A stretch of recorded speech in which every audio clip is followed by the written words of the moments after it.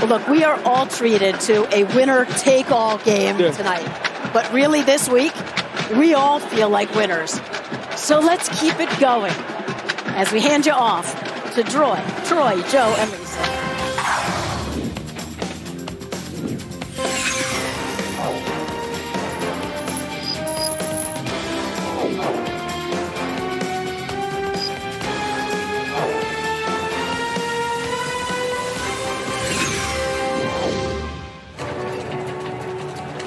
Welcome to a cool night in Jacksonville, Florida, in what is, in essence, a playoff game here in Week 18. And everybody in this stadium with thoughts of Damar Hamlin, whether it's fans in the stands or players on the field, you see the number three absolutely everywhere. And you know he has to feel that watching this game in Cincinnati. Derrick Henry hoping that he can get it done here tonight and help his team break a six-game losing streak. And Trevor Lawrence's tonight is coming of age party. We shall see. Welcome to the progressive kickoff from Jacksonville. It's the Titans and the Jaguars tonight with the AFC South on the line. And now welcome inside the broadcast booth, everybody. I am Joe Buck along with the Hall of Famer Troy Aikman. And before we set up tonight's game, we look back to that scene on Monday night in Cincinnati, and I think of it now in a situation that started with so much fear and sadness now has evolved with so much hope for Damar Hamlin. And ultimately, I, I would say that it's brought people together, not just sports fans, but people across this country. And as they continue their courageous fight, I just know the Hamlin family has to feel it. Yeah, I agree. I, would like to believe that the outpour of prayer and support made an impact on his recovery. I'm certain it did, and I'm also certain that Damar Hamlin and his family uh, felt the love of an entire country.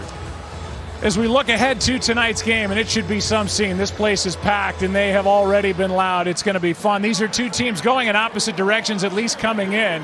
And we'll start with the Jacksonville Jaguars, a team that's fun to watch.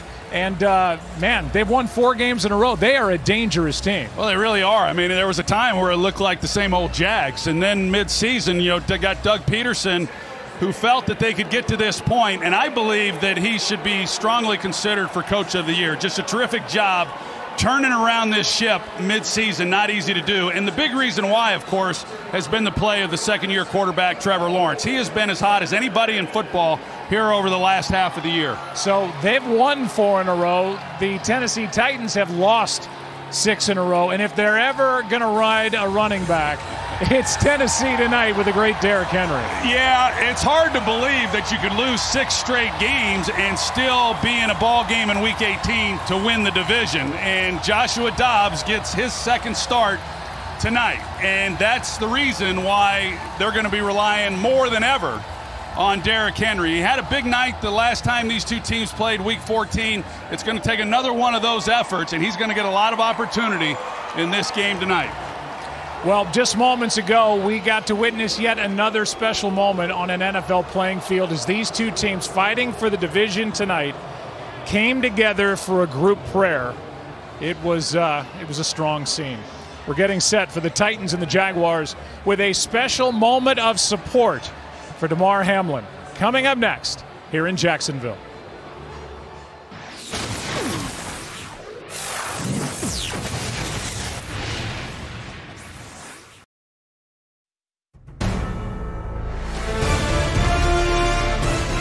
ESPN welcomes you to the following presentation of the National Football League.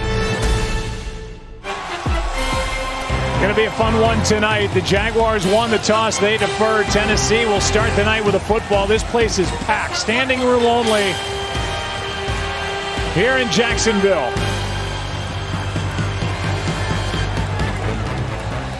Glad you're with us tonight.